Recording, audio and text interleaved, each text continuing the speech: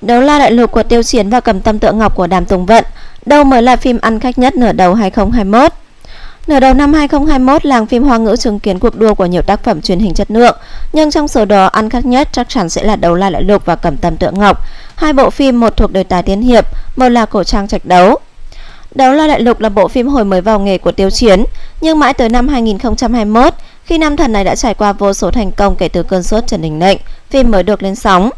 Nhưng có thể thấy Đấu La Đại Lục theo thống kê thu hút rất nhiều lứa tuổi, không chỉ fan nữ của Tiêu Chiến mà khán giả nam hay người lớn tuổi cũng say mê theo dõi. Phim mang về tận 5,44 tỷ lượt xem, cùng vô số kỷ lục về truyền thông mà Tiêu Chiến cùng đoàn làm phim đã gặt hái được. Cầm tâm tượng ngọc thổi một làn gió mới vào dòng phim trạch đấu. Đây là tác phẩm trạch đấu được khán giả vô cùng yêu thích kể từ khi Minh Lan chuyện nổi tiếng của Triệu Lệ Dĩnh.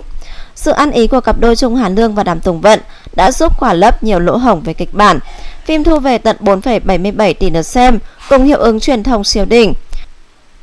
Nhiều người nổi tiếng như Tống Uy Long, Vương Nhất Bác, Cảnh Điểm cũng thừa nhận rằng bản thân mê mệt cầm tầm tượng ngọc. Đứng ở vị trí tiếp theo là những cái tên như Hữu Phỉ hay Trường Ca Hành.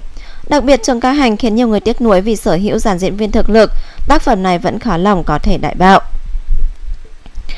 Cảm ơn cả nhà đã lắng nghe video của PVlog.